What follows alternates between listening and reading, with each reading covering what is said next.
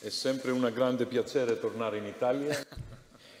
Είναι πάντα μεγάλη χάρη αφού έρχομαι, προέρχομαι από το Κέρκυρα αισθάνομαι στη, στην Ιταλία όπως και πολλοί Ιταλοί νιώθουν σπίτι τους όταν έρχονται στην Ελλάδα. Αυτό έχει να κάνει με ένα καταρχήν πολύ ευχάριστο γεγονός. Την ανταλλαγή των οργάνων επικύρωσης της Συμφωνίας Οριοθέτησης των Θαλασσίων Ζωνών η οποία επιτρέπει την έναρξη εφαρμογής αυτής της συμφωνίας και αυτή η συμβολική πράξη είναι πολύ σημαντική. Κλείνει μια εκκρεμότητα 45 ετών και αναδεικνύει τις υποδειγματικές μας σχέσεις με την Ιταλία. Τόσο εντός της Ευρωπαϊκής Ένωσης, όπου συνεργαζόμαστε πάρα πολύ στενά και με τον φίλο μου Υπουργό, όσο όμως και στο διμερές μας επίπεδο. Έχουμε στενές σχέσεις που καλύπτουν συνολικά όλο το φάσμα, εμπόριο, επενδύσεις. Η Ιταλία κατέχει μια από τις πιο σημαντικές θέσεις στην ελληνική αγορά και έχουμε πετύχει πολλά. Όμως μπορούμε να πετύχουμε ακόμα περισσότερα και σε τομείς όπως ο τουρισμός, ο πολιτισμός, η εκπαίδευση που ήδη συνεργαζόμαστε στενά. Η συνεργασία, η στενή συνεργασία βεβαίως Ελλάδας-Ιταλίας δεν αποτελεί είδηση και έτσι πρέπει να είναι. Είναι η φυσική κατάσταση μεταξύ δύο γειτονικών φιλικών χωρών. Η, η σημερινή ανταλλαγή των οργάνων επικύρωσης υποδηλώνει επίσης την προσήλωση των δύο χωρών, της Ελλάδας και της Ιταλίας, στον σεβασμό του διεθνούς δικαίου και ειδικά του δικαίου της θάλασσας. Κάτι τέτοιο υποστήριξε πρόσφατα και η Ιταλική Γερουσία με την υιοθέτηση του νομοσχεδίου για τις θαλάσσιες ζώνες, λαμβάνοντας υπόψη την Ούγκλος. Βούλησή μας κοινή μας βούληση είναι όπως όλες οι χώρες της Μεσογείου ασπαστούν αυτές τις αξίες.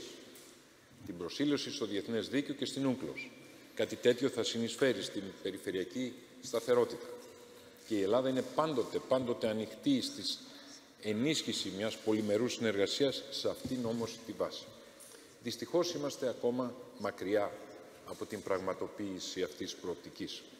Σήμερα εξετάσαμε ενδελεχώς με τον Λουίτζι όλες αυτές τις κοινές προκλήσεις και όπως πάντα μεταξύ φίλων είχαμε μια ανοιχτή και πολύ επικοδομητική ε, συζήτηση. Τον ενημέρωσα ότι η Τουρκία δυστυχώς συνεχίζει την παραβατική της συμπεριφορά στην ευρύτερη περιοχή της Ανατολικής Μεσογείου, αγνοώντας θεμελιώδεις αρχές του διεθνούς δικαίου και συνεχίζει να διατυπώνει ε, απειλές κατά της Ελλάδος.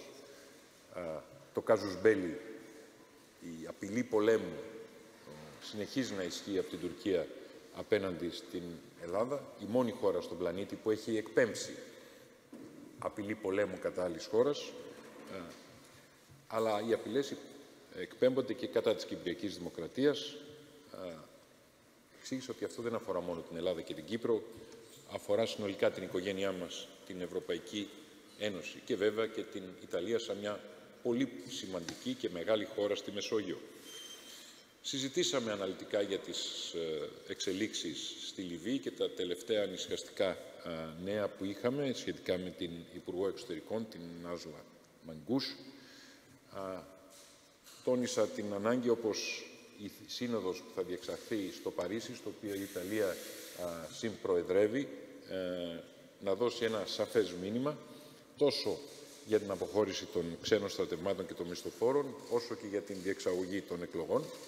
Συζητήσαμε τα Δυτικά Βαλκάνια, όπου οι τελευταίες εξελίξεις δεν ε, ήταν ενθαρρυντικές και νομίζω συμφωνήσαμε από κοινού ότι η Ευρωπαϊκή Ένωση οφείλει να στηρίξει επιτέλους καθαρά, χωρίς υπεκφυγές, την ευρωπαϊκή προοπτική των Δυτικών Βαλκανίων.